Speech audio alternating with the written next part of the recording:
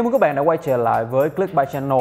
À, Nay đã là giữa tháng 7 rồi Tức là chúng ta đã đi qua hơn nửa năm của năm 2021 rồi. Và trong những tháng gần đây thì mình thấy là rất nhiều người đang quan tâm Tới những cái thông tin bị rò rỉ ra ngoài của những chiếc iPhone 13 series. Và bên cạnh đó thì cũng có một hãng điện thoại sẽ tung ra được cho mình những cái sản phẩm mới vào những tháng cuối năm năm 2021 này.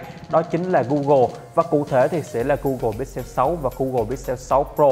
Và mình đã thu thập những cái thông tin này để chia sẻ đến cho các bạn và nếu như các bạn đã quan tâm tới những sản phẩm của nhà Google thì có thể tìm hiểu tại Clickbuy thông qua đường link mình để bên dưới phần mô tả của video.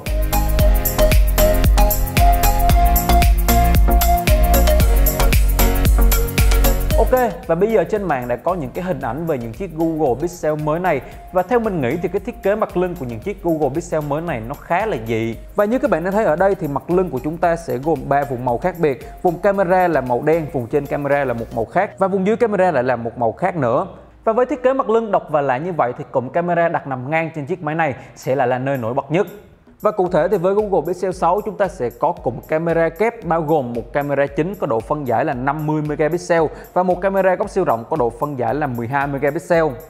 Và trên Google Pixel 6 Pro thì chúng ta sẽ có nhiều hơn một cảm biến cũng gồm camera chính có độ phân giải là 50 megapixel, camera góc siêu rộng có độ phân giải là 12 megapixel và một camera tele có độ phân giải là 48 megapixel.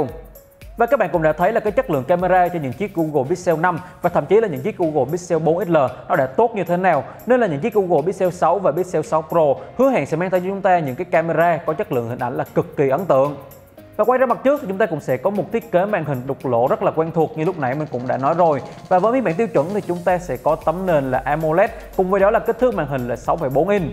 Và đối với chiếc Google Pixel 6 Pro thì chúng ta sẽ có tấm nền là POLED và kích thước màn hình là 6,71 inch. Còn về các thông số khác trên màn hình thì cũng không có quá nhiều thông tin về chúng, Nhưng mà những chiếc Google Pixel 5 năm ngoái thì đã có màn hình có tần số quét là 90Hz rồi Nên mình hy vọng năm nay những chiếc Google Pixel 6 và Google Pixel 6 Pro sẽ có màn hình có tần số quét lên tới là 120Hz Để có được những cái trải nghiệm mượt mà cũng như là trơn tru hơn và theo thông tin mà mình tìm hiểu được thì Google đang cố phát triển một con chip riêng của hãng để trang bị cho những chiếc Google Pixel 6 và Google Pixel 6 Pro, giống cái cách mà Apple đã làm đối với những chiếc iPad M1 và những chiếc MacBook M1 hiện nay. Và con chip này sẽ có tên là GS101. GS là viết tắt của cụm từ Google Silicon và cũng không có thông tin nào chắc chắn là con chip này sẽ được trang bị trên những chiếc Pixel 6 và Pixel 6 Pro. Nên các bạn phải đợi tới những thông tin chính thức từ nhà Google thì chúng ta mới có thể biết chắc chắn được. Nhưng mà mình hy vọng là cấu hình của Google Pixel 6 và Google Pixel 6 Pro sẽ không làm cho người dùng thất vọng như trên Google Pixel 5 khi chỉ được trang bị con chip là Snapdragon 765G. À, mình hy vọng là ví dụ như là Google Pixel 6 Pro sẽ được trang bị một con chip đứng đầu ví dụ như là Snapdragon 588 chẳng hạn. Trong khi Google Pixel 6 thì có thể được trang bị một con chip thấp hơn, một con chip tầm trung để có thể có một giá bán là phù hợp hơn, một giá bán rẻ hơn, dễ tiếp cận với người dùng hơn. Với Google Pixel 6 thì chúng ta sẽ có 8GB RAM và hai lựa chọn bộ nhớ trong là 128GB và 256GB. Trong khi là Google Pixel 6 Pro chúng ta sẽ có là 12GB RAM và ba lựa chọn là 128GB, 256GB và 512GB bộ nhớ trong.